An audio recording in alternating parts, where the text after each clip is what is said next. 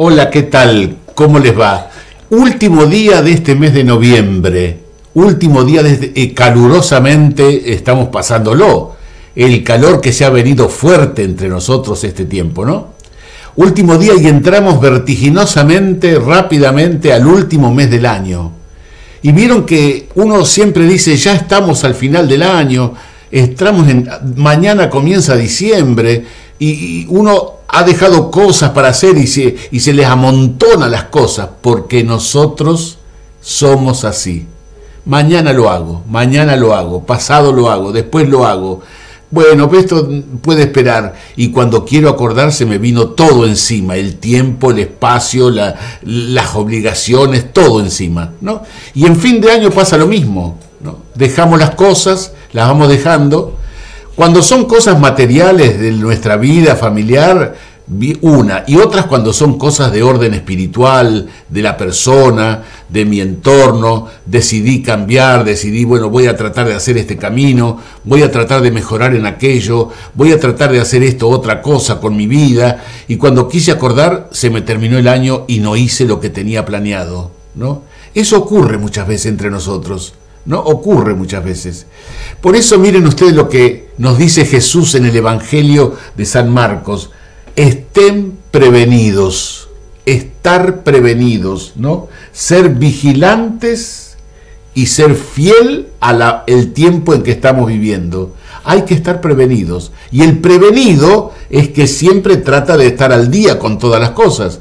¿Por qué esta palabra? ¿Por qué? Porque en este mes de diciembre, el próximo domingo, el domingo 3 de diciembre, comienza en la iglesia la preparación a la Navidad estamos prevenidos, estamos esperando al que va a llegar. Ese que va a llegar es Jesucristo.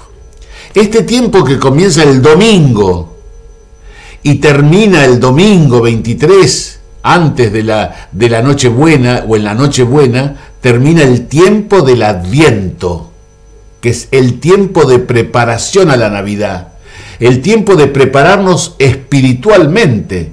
Por lo tanto, en este último día del mes de noviembre, pronto a comenzar este tiempo de preparación, la iglesia, la palabra de Dios a través de la iglesia, de la liturgia, nos propone estar prevenidos por la llegada del que viene.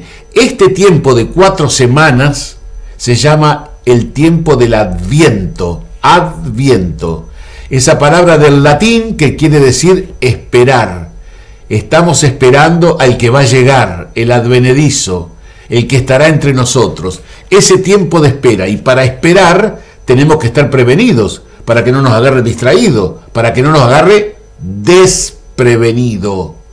¿no? Por eso el tiempo del adviento es una invitación que nos hace el Señor, que nos hace la iglesia, para que nosotros preparemos. ¿Qué tenemos que preparar? Muchas veces confundimos nosotros y pensamos que la preparación es externa, ¿no? Con quién vamos a estar, qué vamos a hacer, cómo vamos a decorar, qué, eh, a quién vamos a invitar, que también es eso. Eso es parte de la fiesta. Pero el núcleo central es Jesús, porque Jesús es la Navidad.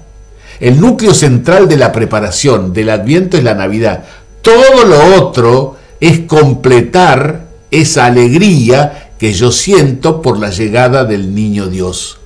Eso es lo que tenemos que tener en claro desde el principio.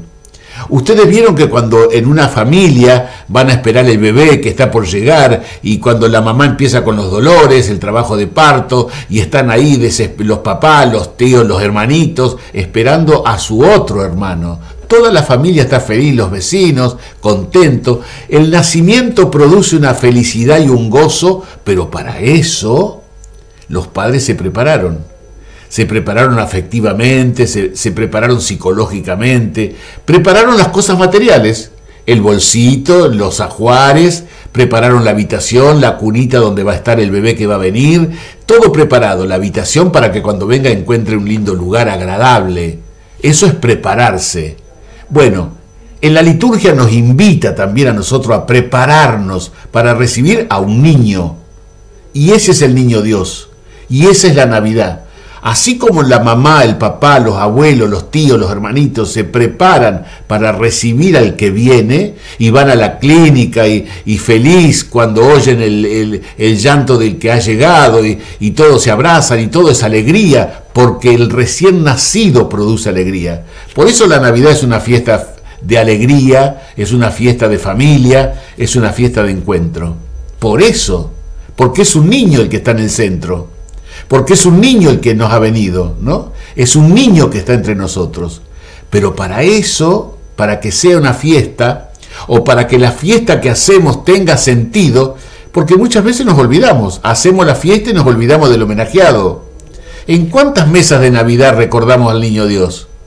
¿En cuántas mesas de Navidad recordamos al Niño Dios? Que es por el motivo que nos juntamos, para celebrarlo, ¿no? Por eso la invitación es a estar prevenidos, es decir, a prepararnos. Lo que nos dice el Señor en el Evangelio de San Marcos, van a escuchar ustedes este domingo cuando vayan a la misa, este Evangelio que dice, Jesús les dice, tengan cuidado y estén prevenidos, porque no saben cuándo llegará el momento. Será como un hombre que se va de viaje, deja su casa al cuidado de sus servidores, asigna a cada uno su tarea y recomienda al portero que permanezca en vela. Estén prevenidos entonces, porque no saben cuándo llegará el dueño de casa, si al atardecer, a la medianoche, al canto del gallo o por la mañana. No sea que llegue los de improviso y los encuentre dormidos y esto que les digo a ustedes, se los digo a todos. Esto, dice Jesús, que les dice a los apóstoles, se los digo a todos. Es decir, a nosotros también. ¿Qué le dice? Estén prevenidos. Y esto que les digo a ustedes, lo digo a todos. Estén prevenidos. Esa es la invitación. Por eso comencemos este mes de diciembre, mañana, comencemos ¿no? preparándonos el domingo, primer domingo del Adviento, primer domingo del tiempo de la espera. Eso es lo que quiere decir Adviento, esperar al que va a venir, esperar al niño Dios. Y Dios quiera que en todos nosotros, en todas las familias, en todas las casas, el centro de la Navidad, la alegría y el gozo de la, de la fiesta familiar sea el niño, el niño Dios. Muchas gracias, que la pasen muy bien y hasta el próximo jueves si Dios quiere.